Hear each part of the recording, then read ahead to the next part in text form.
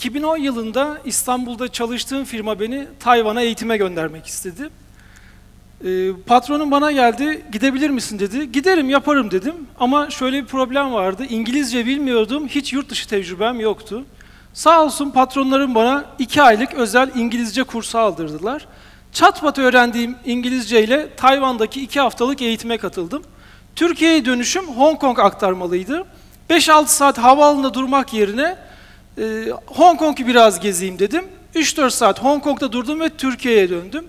Bu iki ülkeyi gördükten sonra buradaki her şey püf diye değişti. 6 yıl IT sektöründe çalışmıştım. Ama artık ofis ortamında çalışamayacağımı anladım. Dünyayı gezmek istiyordum. Param yoktu. Amacım hobim olan fotoğrafçılığı freelance fotoğrafçılık haline getirip para kazanmak, daha sonra da dünyayı gezmek.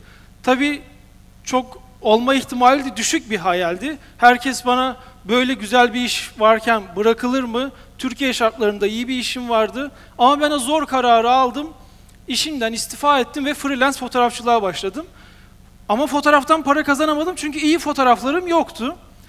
İyi fotoğraflarım olsun diye internetten dört tane profesyonel model buldum Hong Kong'da yaşayan. Makyöz, kuaför hepsini ücretsiz ayarladım. Hong Kong'a tekrar gidip moda çekimi yaptım. Bir benzerini de Ukrayna'da yaptım. Artık bu fotoğraflarım sayesinde Türkiye'de fotoğraftan para kazanır hale geldim. 2-3 ay çalışıp birkaç hafta yurt dışında gezebiliyordum. 2010'dan ee, 2014'e kadar böyle 2-3 ay çalışıp birkaç hafta gezdim. 2014'ün başında ise 2 aylık Latin Amerika gezisi yaptım. O geziden sonra dedim ki ben tek yön bilet alıp yola çıkmalıyım. Böyle 2-3 haftalık geziler beni kesmiyor, bana yetmiyor. Rotası seyyah sosyal medya hesaplarımı açtım. İsmi bulur bulmaz ertesi gün gidip marka tescilini yaptım. Cebimde 15-20 bin lira para vardı. 3 bin lirasını bu işe ayırdım. Daha sonra bin gün sürecek projeme başlamak istedim. Ama takipçim yoktu. Facebook'a bu cebimdeki 15-20 bin liradan 5 bin lira verip kendi reklamımı yaptırdım. 3 ay süreli. Daha sonra 15-20 bin takipçim oldu ve Türkiye'de sponsor aramaya başladım. Yüzün üzerinde firmayla irtibat kurdum. Kimiyle yüz yüze görüştüm, kimiyle mail ortamında, kimiyle telefonla. Hiçbiri benim projeme inanmadı, hiçbir bana inanmadı. İçlerinden sadece biri yabancı menşeli, dünyanın en büyük hava yollarından biri. Biz sana inanıyoruz, uçak biletlerin bizden. Nere istersen sana bilet veririz dedi. Meksika'ya gidip bin günlük projeme başladım. Meksika'da evinde kaldığım arkadaşım turist rehberiydi. Ben seni Maya yerlilerinin evine götürebilirim istersen dedi. Çok heyecanlandım. Bu Maya yerlisi ablamın evine gittik. Aynı bizdeki gibi yufka açtı, arasına ekmek koydu, bana verdi. Şey, arasına peynir koydu, bana verdi. Bu çok hoşuma gitti. Çocuğuyla beraber bu fotoğraf. Gezilerim sırasında elimden geldiğince yerel insanların evlerine misafir olmaya çalıştım ki o ülkenin kültürünü birebir göreyim, yaşayayım istedim. Bu hep böyle sürdü bin gün boyunca. Gezimin, gezimin ilk 6 ayında takipçilerim bana sağ olsun çok destekte bulundu. Kimisi bağış da yaptı. 5 lira gönderdi bana, bugünkü kahvem benden olsun dedi. Kimisi 20 lira gönderdi, bu geceki hostel konaklamam benden olsun dedi. Bu şekilde Orta Amerika'yı gezdim. Adım adım Orta Amerika'yı gezdim diyebilirim. Daha sonra Panama'ya geçtim. Bu gördüğünüz ada 200 metre uzunluğunda. Elektrik, internet, telefon yok. Üç gecemi burada geçirdim. Fantastik bir üç gündü. Daha sonra böyle paylaşımlar yaptıkça sosyal medya takip sayım ciddi anlamda arttı. Bu da büyük firmaların dikkatini çekti. Dünyadaki en büyük outdoor giyim markalarından biri bana geldi ve biz senin sponsorun olmak istiyoruz dedi. Tabii ki kabul ettim.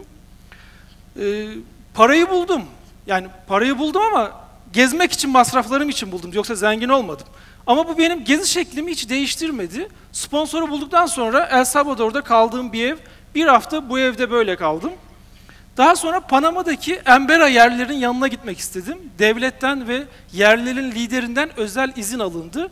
Bu tekneyle oraya ulaştım. Daha sonra yürüyerek yolculuk yaptık ormanda.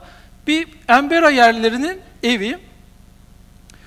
Bu evde üç gece kaldım. Tabii böyle açıkta yattığınız zaman haşereler sizi pek rahat bırakmıyor. Gezilerim sırasında sırasında hunharca böcekler tarafından yendim. Biri sol bacağım, biri kolumun arkası. Ee, Kolombiya'da kogi yerlerinin yanına giderken farkında olmadan 17-18 tane kene benim bacaklarıma girdi. Bu bir tanesi de onlardan biri. Hiç doktora ya da hastaneye gitmedim. Hepsini tek tek elimizde çıkarıp yolculuğa devam ettim. Yerlileri ziyaret ettiğimde yaşadığım en büyük problem tuvalet sorunu. İlk gittiğim köye sorardım hep, nereye tuvaletimi yapabilirim diye. İşte böyle derdi yani. Hani, işte yani bir çalı altı bul, yap yani. Dokuz tane yerli kabilesini ziyaret ettim, hepsinde durum aynıydı. Banyo işini ise en yakındaki derede hallediyordunuz. Çocuklarla banyo ederken, çocuklarla aram hep iyiydi. Şimdi onlara şeker verirkenki tepkilerini göreceksiniz.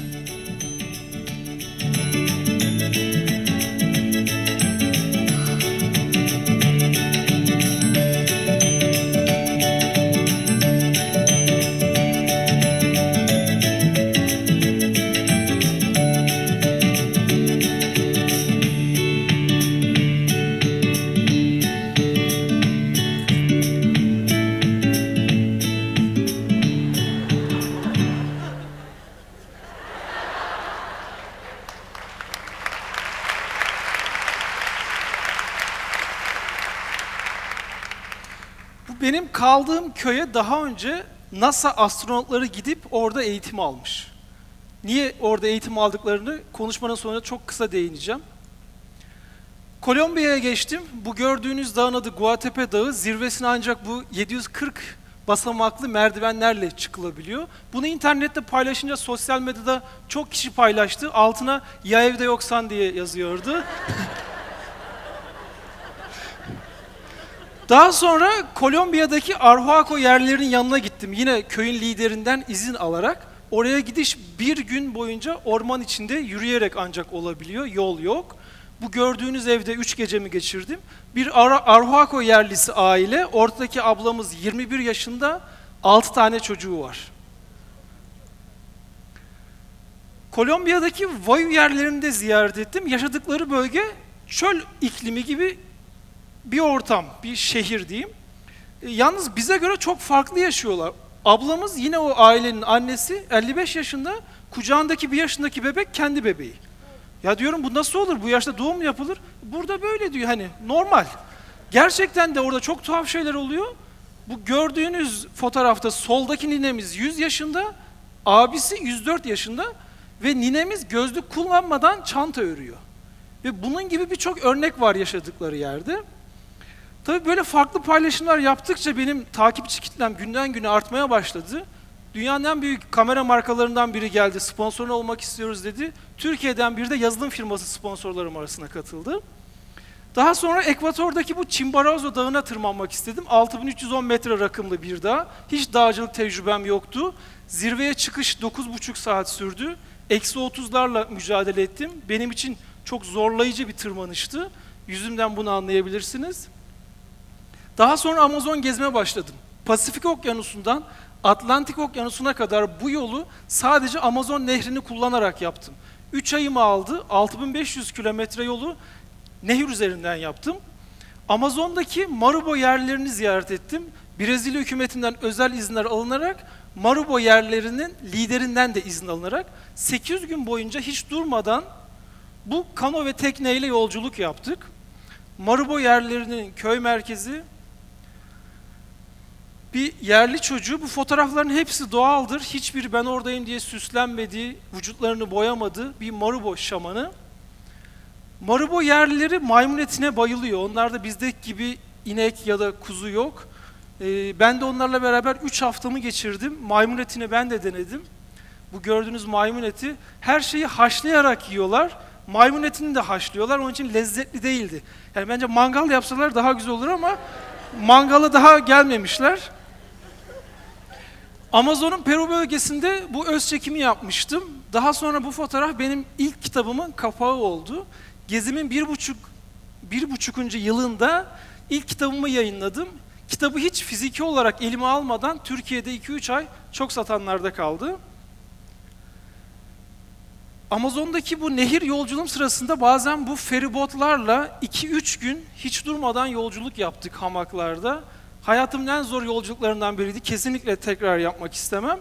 Daha sonra Venezuela'ya geçtim. Venezuela'da çok ciddi ekonomik krizler var. Enflasyon çok anlatılabilir gibi değil. Kucağımda gördüğünüz paralar sadece 140 doların karşılığı. Yemeğe gidiyorsunuz, bir deste para bırakmanız gerekiyor hesap için. Venezuela'daki özel dağlardan biri Kayıp Dünya olarak biliniyor. Roraima Dağı zirveye çıkış 3 gün sürüyor. Bu dağda dünyanın en küçük kurbağası yaşıyor. Bu elimdeki türde onlardan biri. Meksika'dan gezime başladığımda bu Maya yerlisi ablanın dükkanına gittik. Orada onunla beraber fotoğraf çekinmek istedim. Böyle saçlarının ucuna renkli renkli bir şeyler takmıştı. Ya ne güzel dedim saçlarını. Önüne atsana böyle arkaya atmıştı. Fotoğrafı çeken arkadaşım hem öncesini hem sonrasını çekmişti. Eve gittiğimde bilgisayardan kontrol ettim. Ya dedim ben kadınlara yönelik böyle bir proje yapayım. Kadınların fotoğrafını çekerken onlara çok güzelsin dedim. Şimdi öncesini ve sonrasını göreceksiniz.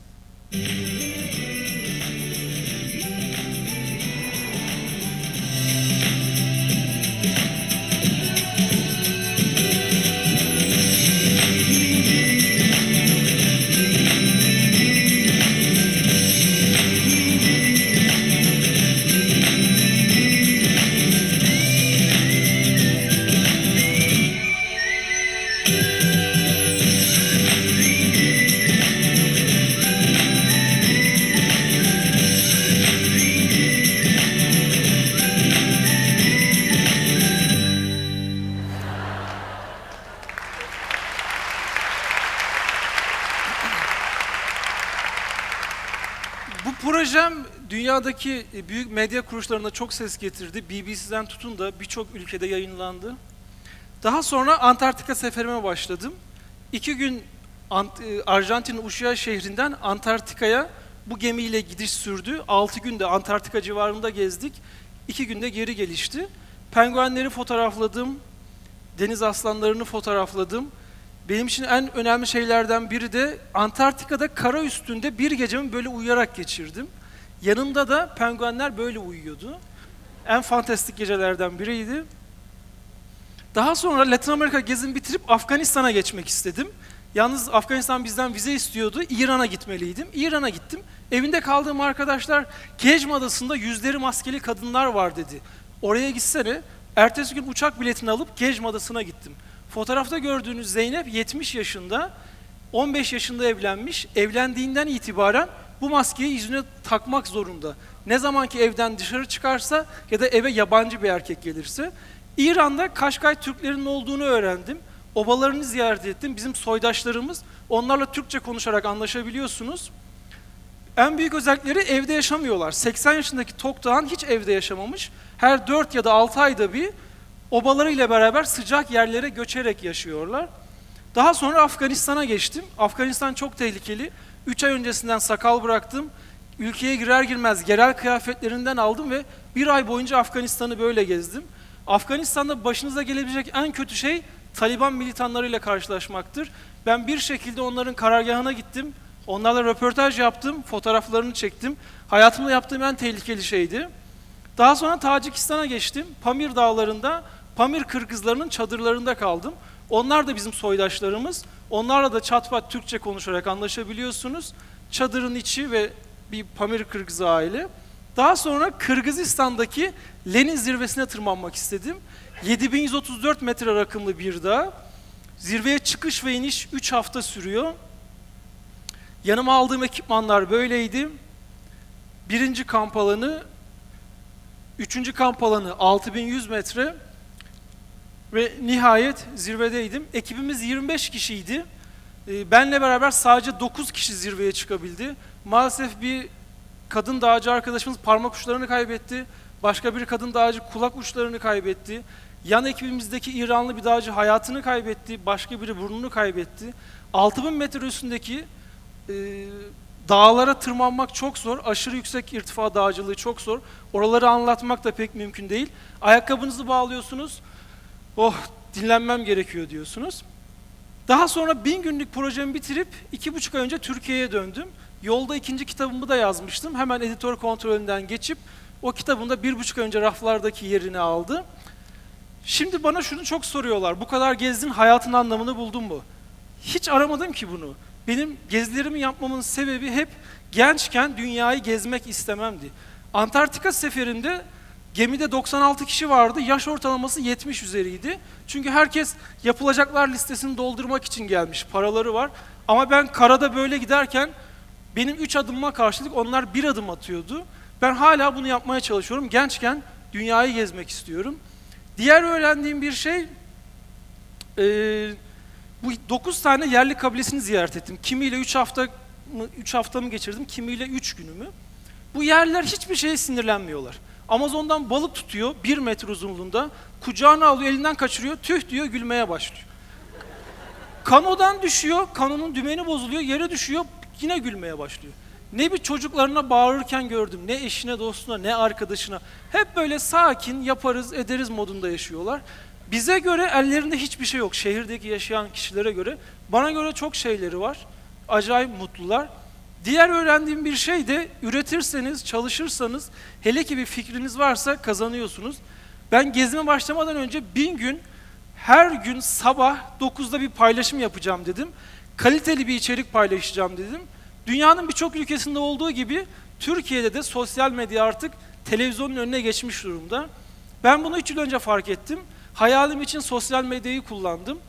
Ee, içinizden birisi atıyorum bir hafta sonra, bir ay sonra başka bin günlük bir projeye başlasın. Konusu atıyorum kitapla ilgili olsun, arabayla ilgili olsun, gittiği ülkedeki yeni doğum yapmış kadınların yaşantısıyla ilgili olsun. Böyle de çok soru geliyor bana. Yeter ki size özgün, size has paylaşımlar yapın. Bin gün sonunda sizin burada olmanız benim için sürpriz olmaz. Dinlediğiniz için teşekkürler.